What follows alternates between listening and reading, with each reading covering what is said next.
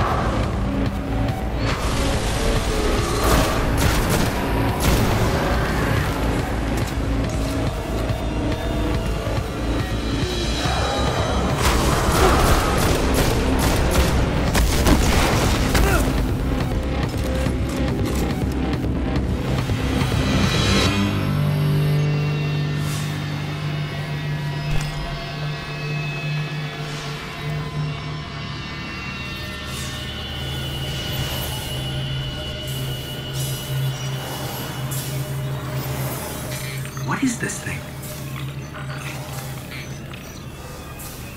It's a shard of the Traveler.